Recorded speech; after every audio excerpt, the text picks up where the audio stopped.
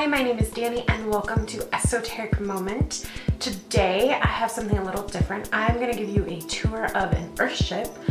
The last couple days Brad and I have been staring at an Airbnb and I thought you guys might enjoy a little bit of a tour. So I'm to turn the camera around and start walking around and explaining what you see. And if you have any questions, leave them in the comments below. This is the front door of an Earthship.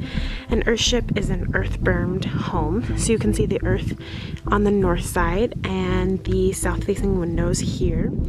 This allows the temperature of the building to stay regulated, usually about 70 degrees.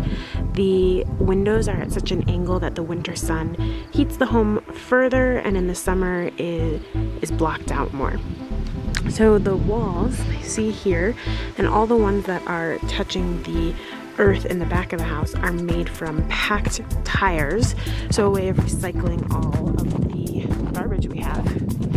And you can see the front here. There's just lots of windows that open, allow ventilation, and the solar panels, which collect energy for the house.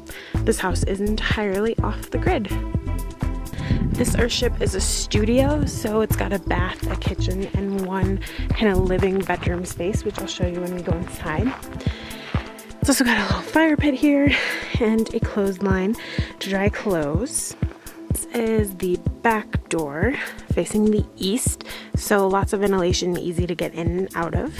Is the roof, which collects rainwater, which is how the house gets water for drinking and bathing. You can see the rocks in the vent there.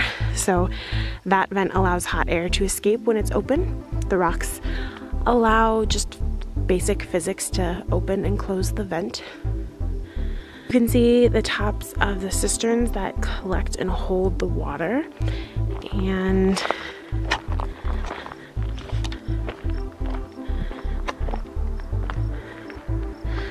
over here is where the water comes from the roof. And then has a couple filters to make sure that big gunk doesn't go through and then is filtered further in the house.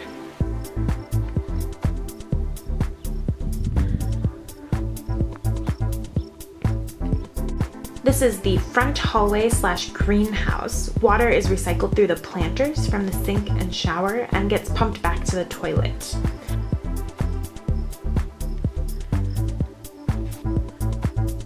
The living space has cooling pipes buried in the earth and a normal energy efficient kitchen.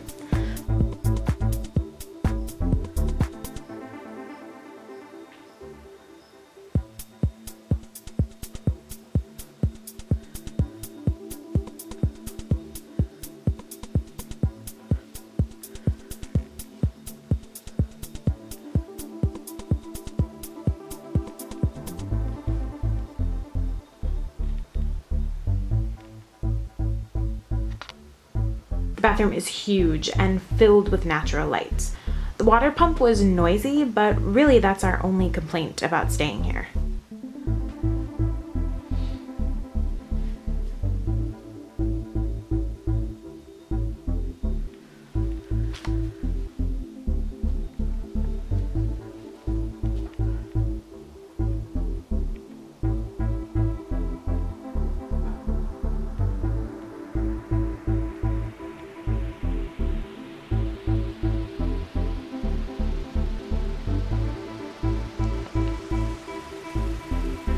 We love staying in the Earthship. Today I am doing a book review on the Urban Druid Handbook. I'm going to make this review very short because it's really warm outside today in Wisconsin and I would like to escape quickly back into my dark cold abyss of apartment.